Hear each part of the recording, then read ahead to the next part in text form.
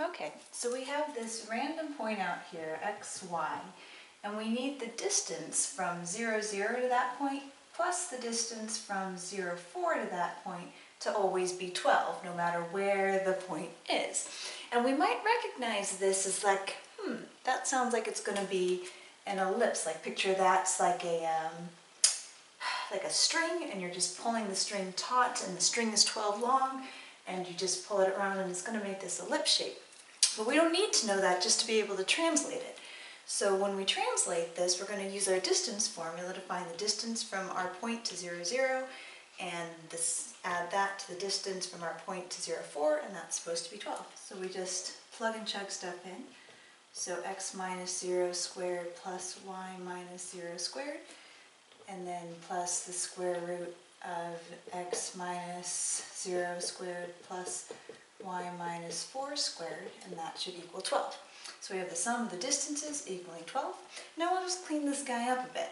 So this guy is uh, the square root of x squared plus y squared, and then this guy is x squared plus y squared minus 8y plus 16 equaling 12, just FOILing that out, expanding that out. And I want to get rid of the square roots, and it's going to make things just a little bit nicer if I kick this thing over there. So I have 12 minus the square root of x squared minus y squared. Because now when I square both sides, this guy, uh, the square and the square root cancel each other out, and I just get the inside. This one here does need to be FOILed out. It needs to be squared so it's multiplied by itself.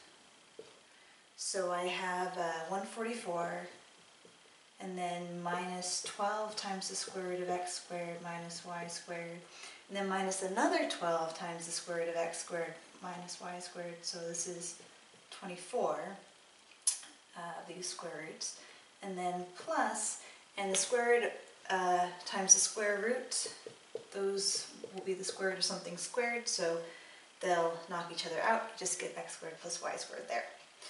So now we got rid of one of the square roots and we just have one left. So I'm going to try to get this guy alone um, by knocking everything out. So if I subtract x squared from both sides, they go away. If I subtract y squared from both sides, they go away. If I, uh, let's see, so I have minus 8y and then 16 minus 144, we're going to have, um, let's see what I do. Oh, I think what I did here is I, I saw that they were all divisible by 8, so I, or even a negative 8, so just to make them a little bit smaller. So if I divide everybody by a negative 8, uh, I get negative positive y minus 2 equals 144 divided by 8 was negative 18 and then plus 24. Oh, divide that by 8, negative 8 as well. 3, there you have it. And so now when I kick that 18 over, it's a little bit easier to add. That's plus 16 equals 3 times the square root of x squared minus y squared. So now that square root is isolated, and so we'll square both sides again. So when I square this side, multiply it by itself, I get y squared plus 32y plus 256. And then the 3 gets squared, that's 9. And then times x squared minus y squared. And so now, if I kind of kick everything over to this side, I'll have 256, and then I'll have 9x squared, and then I'll have minus 9y squared uh, minus another y squared. Sorry, that should be plus.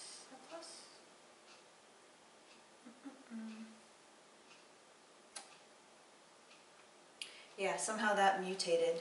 Uh, it was supposed to be x squared plus y squared, and when I wrote it over here, uh, x squared plus y squared plus, plus, plus. Sorry about that. So that should be plus, and so now I have, this is 9x squared plus 9y squared, and when the y squared comes over, that'll be plus 8y squared, sorry, or, yeah, plus eight y squared, and then minus thirty-two y. Getting there. And so now we just want to, since we kind of recognize that it was supposed to be an ellipse, let's put it in a nice ellipse form. So we have 9x squared plus 8 times y squared minus 4y.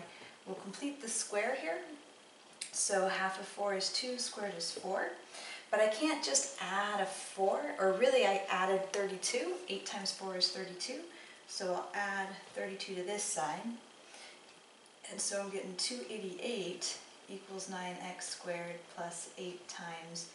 And then the whole reason I added this 4 was because y squared minus 4y plus 4 is a perfect square. That's y minus 2 squared.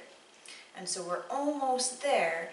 For a, a standard form of an ellipse, this should be a 1. So I'm going to divide everybody by 288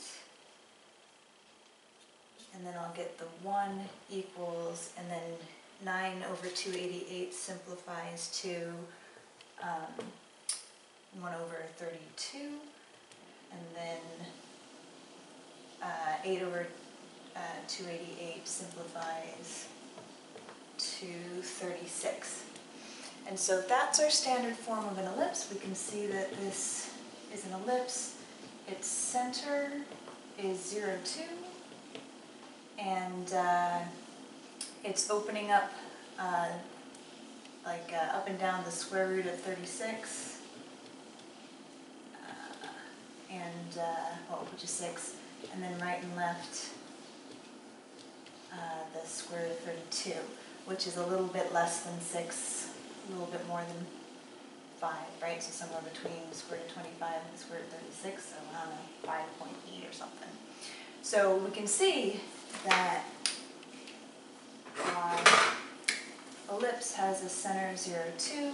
You don't have to graph it, the, their four-point response didn't have a graph, but uh, we could do it if we wanted 0, 2, and then um, up and down 6, so 1, 2, 3, 4, 5, 6. 1, 2, it extends up there, and then right and left, 1, 2, 3, 4, 5, and a little bit more.